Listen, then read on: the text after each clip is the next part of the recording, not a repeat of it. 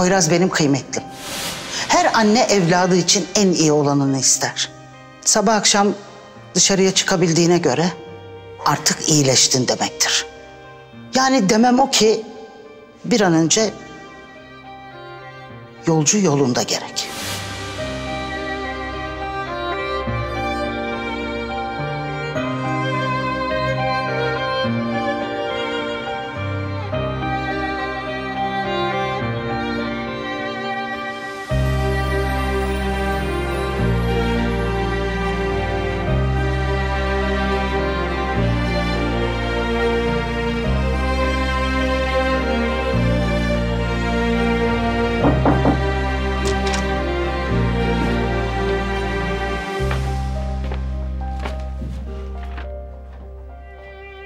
Toparlayana kadar buradasınız. Bunlar da evin anahtarı. Lazım olur. Artık burası bizim de mi evimiz? Aynen öyleydi. Bunlar da senin.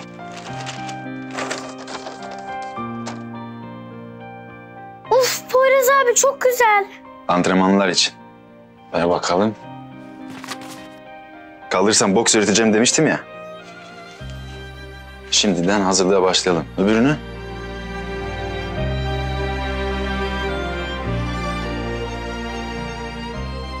Dene bakalım. Teşekkür ederim Poyraz abi. Boks öğreneceğim Nana. Artık seni daha iyi koruyabilirim. Nana çenesine kendini koruyabilir bence. Ters ters konuşup 100 kiloluk adamı bile indirir. Ama yetmediği yerde sen devreye girersin.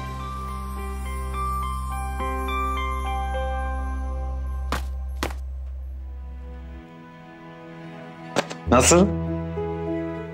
Çok güzel. Eldivenler için çok teşekkür ederim.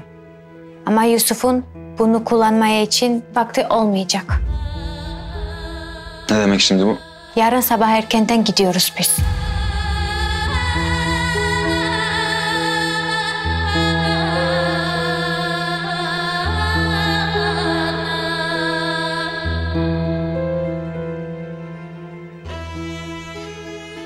Sen bir gelir misin şöyle?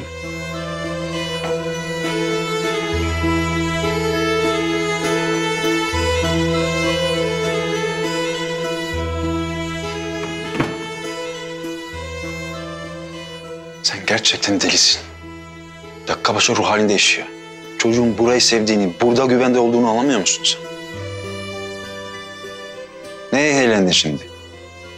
Yarın gidiyoruz. Kararımı verdim. Konu kapandı.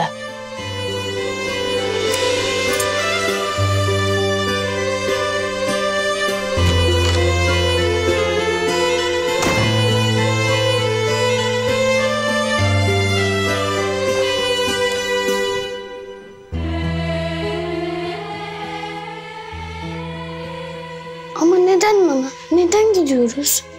Birazcık daha burada kalsak olmaz mı? Bak Canukam, onlar iyi insanlar. Ama hayatlarını çok zorlaştırdık.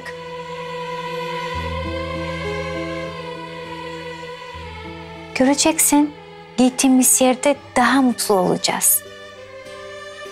Hem istediğin zaman arar konuşursun Poyraz abinle.